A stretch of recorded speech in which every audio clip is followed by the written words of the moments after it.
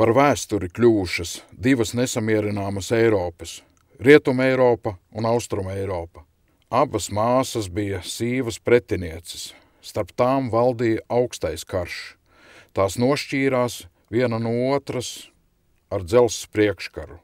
Laiki mainījās, augstais karš beidzās, dzelzs priekškars krita, un cilvēki ieraudzīja to, ko priekškars bija apsedzis - savvaļas dabu, kurā patvērumu raduši citviet jau par retumu kļuvuši augi un dzīvnieki un to dzīvotnes uz zemes, ūdenī, gaisā, šo simtiem kilometru garo saudzējumo, trauslo dabas joslu no Barenca jūras līdz Melnajai jūrai tagad dēvē par Eiropas zaļo jostu, bet Baltijas jūras piekrasti no Nīdas līdz Kolkai par Latvijas zaļo jostu. Slīteres Nacionālais parks ir krāšņa šīs jostas sprādze, rotāta ar neslīpētiem dimantiem, jūru, mežiem, purviem. Par tās iemītniekiem šī filma. Atkāpjoties pēdējiem apledojumam, pirms aptuveni 11 tūkstošiem gadu, Baltijas jūras ieskautās kurzemes pussalas ziemeļos sāka veidoties tagadējās Līteras Nacionālā parka teritorijas aprises. Baltijas ledus ezera senkrasta platlapju meži, purvi un mitrainis, mijoties ar boreālajiem mežiem un melnaukšņu dumbrājiem, rada vienreizēju, skarbu un neatkārtojamu ainavu. Jūras tūms nodrošina maigu klimatu, tie ir priekšnosacījumi dzīvo organismu daudzveidībai, kura tā pārsteidz jebkuru te nokļuvušo ceļinieku vai pētnieku. Laiku pa laikam šo vietu pārstaigā uguns, ar iznīcinošo spēku aprijot visu, savu laiku nodzīvojušo un radot priekšnosacījumus jaunam sākumam. Vilkiem izdevies nomedīt vienacainu briežu bulli. Kā briedis, aci bija zaudējis, varam tikai minēt. Mežā nejauši uzdurties zaram ir pagrūti, jo brieža aci sargā gari taustmati. Pieskāriens tiem saulaicīgi brīdina zvēru par briesmām. Vieglāk aci savainot lielā ātrumā brāžoties cauri mežam. Nav izslēgts, ka ievainojums iegūts no zaros izšķīdušas medību lodas šķembas. Lai nu kā, Vienacains briedis ir vilkiem vieglāk nomedījams, jo briedim acis novietotas galvas sānos, un neredzēt ar vienu aci nozīmē, ka briedis no aklās puses saulaicīgi nespēja reaģēt uz vilku uzbrukumu. Vilki nomedītajam dzīvniekam pārplēš vēderu un mielojas ar karstajām augstajā gaisā kūpošajām iekšām. Mēs parasti neiedomājamies, ka vilki tā tiek pie silta ēdiena un tieši tāpēc ir tik kāri uz nomedītā zvēra iekšā. Vilku bars nekad nespēja apēst visu nomedīto briedi, tāpēc nākošajās dienās mēdz atgriezties pie medījuma atliekām. Šoreiz pie vilku medījuma bijuši cilvēki. Te jūtamā cilvēka smaka liek būt ļoti uzmanīgiem. Drošākais ir vilku tēviņš, kurš sadūšojas pienākt pie medījuma. Uzmanīgo kraukļu klātbūtne vilkus nomierina, bet reizēm kaitina, tāpēc vilka pie izdevības liek manīt, kurš ir īstais saimnieks un padzen kraukļus no medījuma. Kraukļus reizēm mēdz dēvēt par vilku putniem, jo tie ar vilkiem saudabīgi sadarbojas. Lidinoties virs medījuma un ik pa laikam ieķērcoties, kraukļi mēdz norādīt vilkiem medījuma atrašanās vietu. Savukārt kraukļi reaģē uz vilku gaudošanu. Tie zina, ka pēc vilku maltītes vienmēr atradīs bagātīgi klātu galdu. Netālu staigājošās dzērves vilku klātbūtni pārlieku nesatrauc. Kaut arī tās nepārprotami reaģē uz vilkiem. Parādās kuce. Kucei galvas apjoms ir mazāks, tās purns slaidāks. Vilcene iespējams ir grūsna, par to liecina tās apaļais vēders. Šajā laikā alfa pāris dzīvo atsevišķi, un midzeņa izvēlē noteicēja ir kuce. Ziemā vilki medī pārnaģus, stirnas un meža cūkas ir to galvenais medījums ziemā. It īpaši meža cūku sivēni. Ziemā meža cūkas dzīvo baros, jo tā ir drošāk, un pieaugušo cūku iemītās takas padara vieglāku sivēnu pārvietošanos dziļajā sniegā. Sasalušo zemi uzrakt ir pa spēkam vien pieaugušajām meža cūkām, tāpēc sivēnu izdzīvošana sniegainā ziemā nav iedomājama ārpus bara. Sivēni cītīgi pārmeklē pieaugušo cūku rakumus un ar vienu atrod, ko ēdam. Ziemā konkurence dēļ barības ir ļoti liela, un pat sivēna māte nereti neļauj sivēniem pienākt cieši klāt. Tādēļ sivēni spiesti turēties atstatu no pieaugušajām cūkām. Ar savstarpējiem pieskārieniem tie iedrošina viens otru, un bažām par drošību ir pamats, jo barojoties bara perifērijā, sivēni ir vairāk pakļauti iespējamam plēsēju uzbrukumam.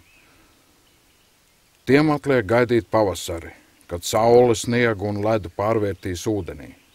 Ūdens ir nepieciešams priekšnoteikums jebkurai dzīva organisma pastāvēšanai, bet ne tikai. Ūdenī glābiņu rod vilku vajāts alnis vai stalbriedis, jūrmalas dārzā suņa pārsteigts cienotsuns, bet reizēm zvēri izbauda ūdens sniegto veldzi, līdzīgi kā to darām mēs, cilvēki. Ir vakars, Stalbriežu govs beidzot var atstāt mežu un iznākt jūrmalā, lai atveldzētos no karstuma, kukaiņu kodumiem un slāpēm. Šī briežu māte acīm redzami izbauda peldi. Vasara ir laiks, kad asinsūcēji kukaiņi, odi, dunduri un miģelis nedod mieru ne dzīvniekiem, ne cilvēkiem. Šajā laikā dzimst briežu teļi. Teļš, veidojoties briežu govs ķermenī, to ir krietni iztukšojis. Iesāļais Baltijas jūras ūdens ir minerālu vielām bagāts, tāpēc briedim ļoti garšo. Jūras ūdens ne tikai veldzē slāpes un dod patvērumu, bet arī kompensē minerālu vielu zudumus dzīvnieku organismā, dziedē ievainojumus. Latvijas dabā vienīgi jūras ūdens ir dabīgs sāls avots. Plēsēji uzņem sāli, ēdot gaļu, Augētājiem jāmeklē citi avoti, mednieku izliktais laizāmais sāls vai jūra, bet ne visiem tīk sāļūdens. It īpaši, ja esi abinieks un tev ir plāna un jūtīga āda. Un tomēr kādai abinieku sugai uzturēšanās iesāļā ūdenī nesagādā raizes. Tas ir smilšu krupis, Eiropas mērogā īpaši aizsargājama suga. Šis abinieks visu gadu dzīvo slēpti, un tikai maija beigās smilšu krupju tēviņi salasās uz riestu pludmales lāmās. Un tad to riesta dziesma, pateicoties elastīgam pakaklas ādas maisam, kurš kalpo kā rezonators, dzirdama visai tālu. Mātītes nērš ikrus iesāļā ūdens lāmās. Ikri sakārtot rindā, veidojot līdz divus metrus garu auklu, kurkuļi izšķiļas aptuveni pēc nedēļas, un vēl pēc aptuveni trim nedēļām pārvēršas mazos krupīšos. Process notiek ļoti ātri, jo smilšu krupis nārsto seklūdens lāmās, kuras strauji žūst, tāpēc laiks ir dzīvība. Dienā krupis slēpjas sakņu muģekļos pakrastē.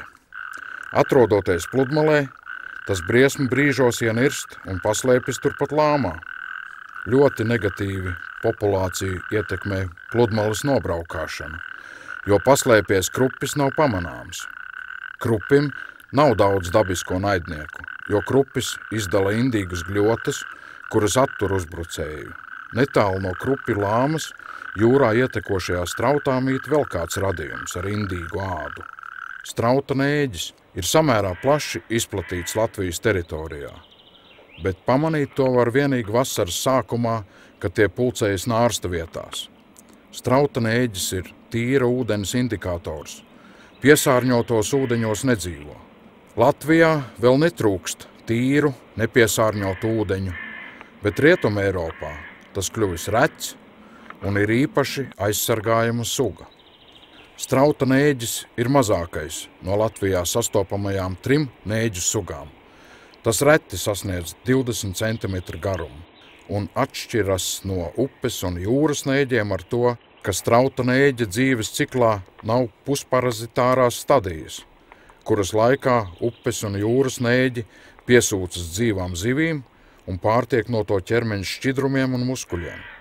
Strauta nēģis nekur neceļo, un visu savu maksimāli 6 līdz 7 gadus ilgo mūžu pavada vienā un tai pašā strautā. Pie tam strautanēģis mūža lielāko daļu pavada kāpuru stadijā, ieracies strauta dūņās. Te tas barojas, filtrējot detrītu, kuru veido augu un dzīvnieku atliekas.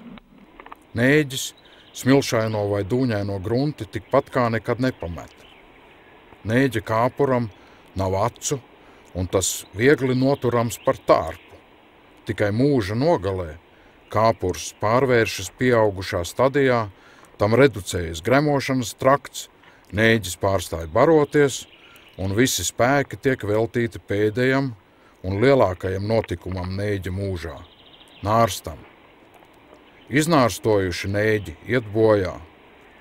Interesanti, ka kāpuri vienmēr ir augumā lielāki par pieaugušajiem. Reizēm nārsto nepieauguši kāpuru stadijā. Nārstot sāk, kad ūdens iesilst virs 15 grādiem pēc Celsija. Par nārsta vietu izvēlas oļainu straujteci, kuru tēviņi labi iekārto, izvācot lielākus oļus un izveidojot nārsta bedrīti. Apaugļošana notiek tēviņam, uz mirkli piesūcoties mātītes galvai un savijoties abiem ķermeņiem kopā. Cilvēki strauta nēģi nēd, tāpēc, ka tā ādā esošo dziedzeru sekrēts ir indīgs, un inde karsējot nesadalās. Ziemā, kad nēģu kāpuri mitinās gultnē ierakušies smiltīs, strautu apmeklē kāds ļoti neparasts putns - ūdensstrasts. Pie mums ūdensstrasti ir ziemotāji, taču retu reizi arī liksdo. Jau oktobra beigās no Skandināvijas tiesāk savu migrāciju uz dienvidiem, šķērsojot arī Latviju. Tiek uzskatīts, ka Latvijā ziemo aptuveni 400 ūdensstrāzdi. Ziemā, kad viss klāts ar biezu sniega segu, šie putni barību meklē strauta dibenā.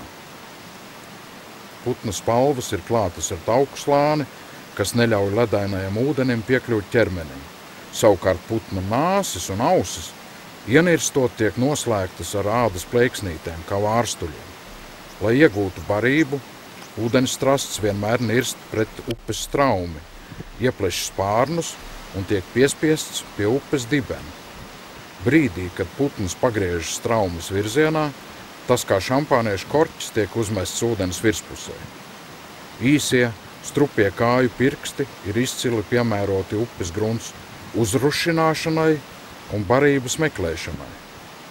Ēdienu karte sastāv no dažādiem ūdens bezmugurkaulniekiem, maksteņu, viendienīšu un dūneņu kāpuriem. Latvijā ūdens strasti būs sastopami līdz marta beigām, kad tie sāks savu ceļojumu atpakaļ uz likstošanas vietām Skandināvijas kalnu upju krastos. Laikā, kad ūdensstrasti Skandināvijā dēja olas, pie mūsu strauta regulāri sastopami āpši, lapsas un ienutsuņi. Tie te nāk dzert un pie reizes medīt vardes, strupastes un kukaiņus. Šie zvēriņi savas alas izrakuši strauta stāvajās nogāzēs. Tur tos gaida mazuļi. Lūk, jenotsuņu mazuļi. Sāk pasaules iepazīšanu nākot ārā no alas tumsas saules gaismā. Tie vēl ir pavisam nedroši un tāpēc spiežas ciešā bariņā. Jenotsuņi visu dzīvi pavada pāros, tāpēc tiem ļoti svarīgi ir kopības sajūta un ķermeņa kontakts. Ieraugot ko aizdomīgu, viss pulciņš bez liekas domāšanas pazūd alā. Aizkavējoties var nonākt vilka zobos. Lapsēni jau no paša sākuma uzvedas kā lieli individuālisti. Viņiem nepieciešama kaut neliela, bet sava teritorija. Lapsēnu zilā acu krāsa norāda, ka tie ir aptuveni mēnesi veci. Tiem apnikusi smirdīgā un blusainā ala – tāpēc tie tīksmi ļaujas svaigā gaisa un saules vilinājumam. Āpsēni piedzimuši agri pavasarī un ārpus alām parādās visvēlāk, divu mēnešu vecumā. Āpši ir īstākie alu racēji. To alas ir daudz garākas un sazarotākas par lapsu un ienotsuņu vienkāršajām alām. Reiz izveidotu āpšu mītni apdzīvo daudzas paudzes, vairāku gadu desmitu garumā. Katra nākošā paudze tās paplašina, tāpēc vecās āpšu mītnes ir ar daudzām ejām, vairāku desmitu kvadrātmetru platībā. Mazuļi ir ļoti uzmanīgi, jo kaut arī paši ir plēsēji, mežā netrūkst lūšu un vilku, kuri labprāt uzkostu pa kādam mazulim. Šis plēsīgais putns lapsēnus un apsēnus neapdraud. Tas ir vistu vanaks, kurš mielojas pie vilku nomedīta brieža. Putnam uz zemes sēdēt ir bīstami, tāpēc vanaks nemitīgi raugās apkārt, tāpat laikā veikli plēšot un krājot guzā gaļas gabaliņus. Vistu vanaks Latvijā ir samērā parasts putns, taču to skaits ir ievērojami mazāks nekā 20. gadsimta pirmajā pusē. No 1901. līdz 1944. gadam par nošautu vai lamatās noķertu vistu vanagu maksāja pat prēmijas. Vistu vanaks tika uzskatīts par kaitīgu, jo ir regulārs lauku viensētu ciemiņš. Ornitologi uzskata, ka vistu vanagu skaits samazinājies, jo pagājušā gadsimta 90. gados likvidēja kolhozu lopu fermas. Pie fermām vienmēr uzturējās putni, kurus medīja vistu vanaks, piemēram, mājas baloži. Caurmērā uz katru fermu bijis pa vistu vanagam, kurš tur barojies un tūmā dzīvojis. Pēc fermu likvidācijas arī vistu vanagiem nācās meklēt citas barošanās vietas. Tādēļ mūsdienās tas nereti novērojams pilsētu teritorijās – veikli ķerstot baložus, vārnus un citus putnus. Šobrīd Latvijā liksdo 2000 līdz 3000 pāri, taču ziemo 4000 līdz 5000 putnu. Tas izskaidrojams ar to, ka pārziemot uz Latviju atlido gan ziemeļu, gan austrumu populāciju putni. Vistu vanaks likst uzbūvējis kādā apses staklē netālu no purva malas. Agri rītos no purva nāk savādas skaņas. Tur riesto rubeņi. Rubeņu riests Slīteres Nacionālā parka bažu purvā ir lielākais Eiropā. Te 2009. gadā vienkopus riestoja 66 rubeņu gaļi. Īpašā ainava, kur nelieli purviņi mijas ar mežainām kāpām un stingrais aizsardzības režīms, nodrošinājis Slīterei rubeņu lielvalsts statusu. Rubeņi riesto agri pavasarī.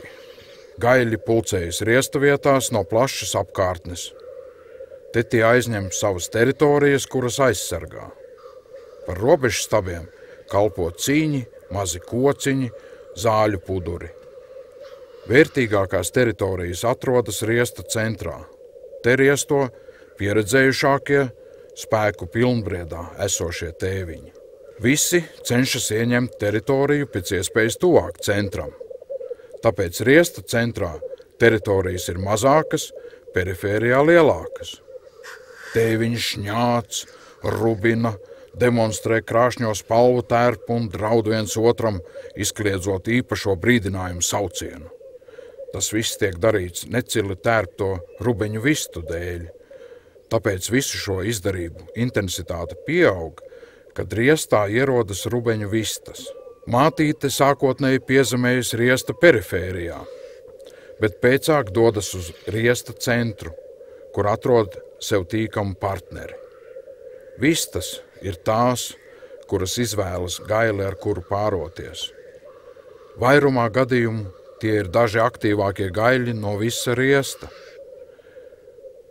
Pēc apaugļošanas vistas izvēlas likstvietu riesta tūmā, un vienas pašas uzņemas visas ar likstošanu saistītās rūpes. Gaļi turpina riestot, kad vistas jau uzsāk likstošanu. Ja kādai vistai pirmais dējums iet bojā, tā var doties uz riestu un apaugļoties vēlreiz.